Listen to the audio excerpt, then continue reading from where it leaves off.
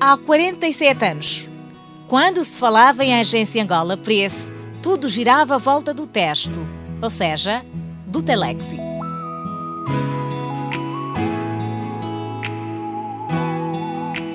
Foram nada mais, nada menos do que quatro décadas de transformação e adaptação às novas tecnologias. De uma agência praticamente sem rosto, a Angop venceu a barreira do tempo, modernizou-se e transformou-se numa fornecedora direta de conteúdos.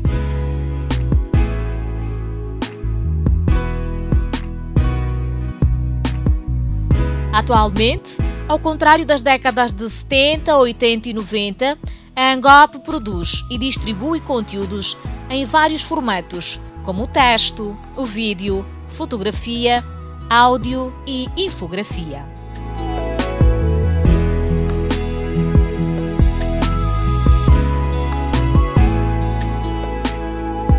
Com redações modernas e rejuvenescidas, a Angop está no encalço dos principais acontecimentos de Angola e do mundo, com uma média de produção diária de 200 conteúdos, entre notícias, reportagens, análises e dossiês.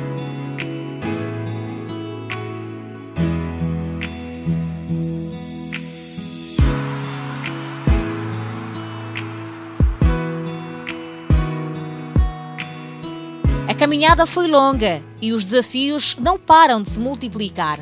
Desde o lançamento do seu primeiro site, no ano de 2000, a recente aposta no serviço de streaming.